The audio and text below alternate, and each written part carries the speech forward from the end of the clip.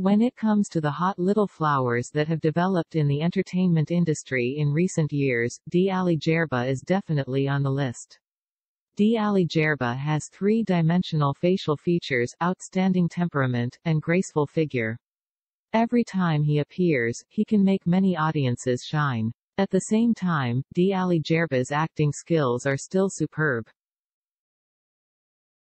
From Bai Fengju in Three Lives, Three Worlds and Ten Miles of Peach Blossoms, to Li Chong in Sauvignon Blanc, and then to Ji Yunhee in Acquaintance with Jun Chu, Di Ali Gerba's acting skills are amazing every time. Although Di Ali Gerba has appeared in many costume dramas, the costume dramas she starred in are all idol dramas. However, recently, Di Ali Gerba has ushered in a big heroine costume drama with elements of business warfare, which is expected to become a hit.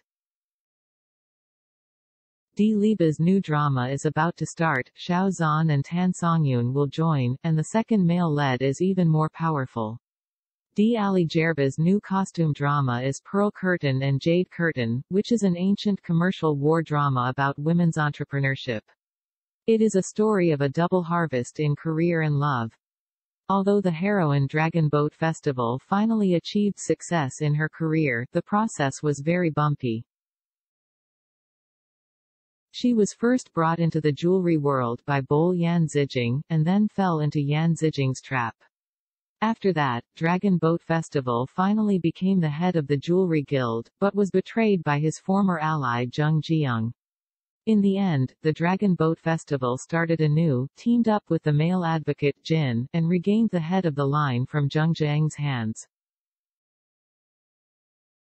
From the plot point of view, Pearl Curtain and Jade Curtain perfectly integrates jewelry, business warfare, love and other elements, which will definitely bring many audiences a pleasant visual enjoyment. In addition to the ups and downs of the plot of Pearl Curtain and Jade Curtain, the cast of the play is even more powerful. First of all, the heroine of the show is played by Dee Liba, who has won a lot of popularity. In addition, D. Liba's temperament is both fresh and refined, but also noble and glamorous, and it will definitely interpret the innocence and quirkiness in the early stage of pearl mining and the noble, glamorous, mature and stable interpretation in the later stage.